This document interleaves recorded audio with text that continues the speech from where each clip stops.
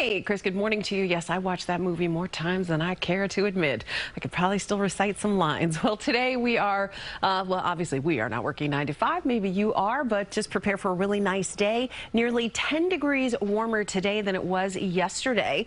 Uh, we just really have a very pleasant pattern to start the work week 60s and sunshine for a couple days. So that'll be nice. You do need to know where your umbrella is because we do have our eyes on a round of rain for later this week. So just know that there is a change coming. Right now, this is what we've got. Clear skies, really beautiful. 46 degrees with a light variable wind uh, in Central Park. So temperatures very mild for a good portion of the area, right? We're at 46 for New York City, 44 for Westbury, Sayville's at 45, Armonk's at 47, uh, Sea not too bad at 39, same for Mahwah. And then we head inland to places like Franklin, Madison, and Matawan that are below freezing. So upper 20s right at that 30 degree mark. So very cold. So some will still need that coat heading out the door for the others it's a little more like chilly uh, out the door this morning. But here's our setup on your SkyCast satellite and radar.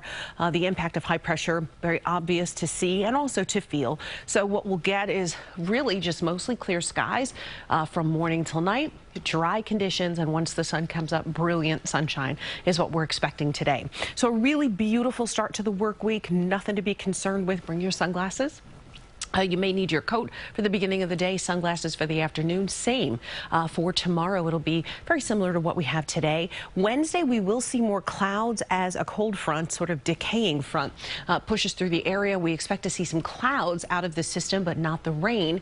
Uh, but we will see some slightly cooler temps on Thursday behind the system. So we start out with temperatures in the low 60s, and then behind that front on Veterans Day Thursday, partly sunny skies. So we will see more clouds in the mix.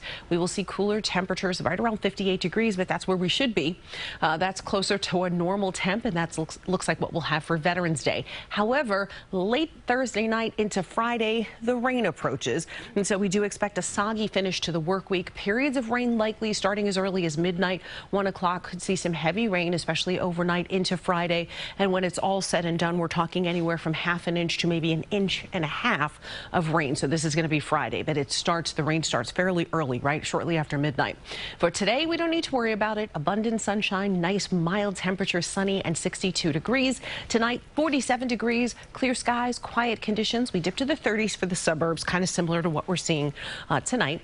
And then we go through the first three days of this week looking good, a little bit cooler with more clouds for your Veterans Day. Chris? Okay, Kelly, thank you.